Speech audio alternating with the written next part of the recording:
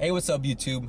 Today I got a video for you guys about the all-new 2018 Corvette ZR1 that was released this morning in Dubai. If you saw my video yesterday about the Corvette ZR1, I was just going over the rumors and everything that people were saying about it, what it might come with, and just the motor and different options that it might be coming with.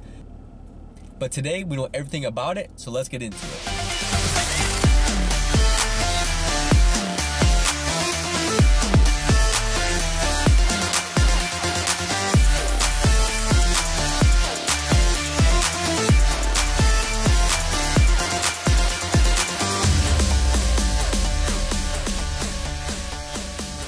This ZR1 was just released earlier today, this morning, on November 12th in Dubai, to try to get a more global market for Chevy and GM.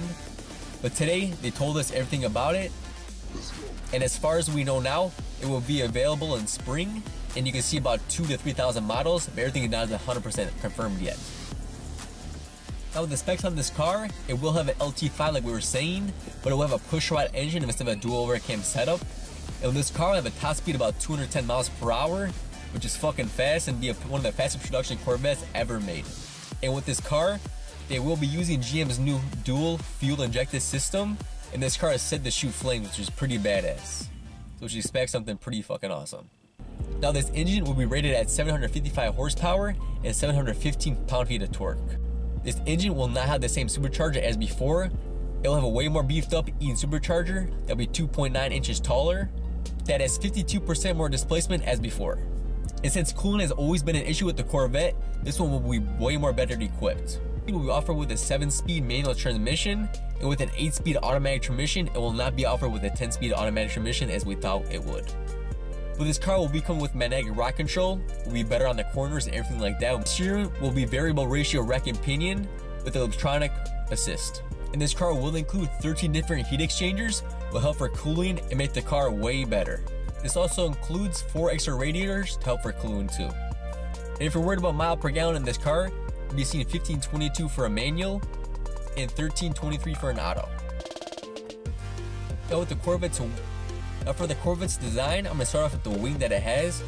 It'll have two different wings depending on, it'll have two different wings depending this car will have two different wings depending on the ZTK performance pack, which I'll be talking about in a second.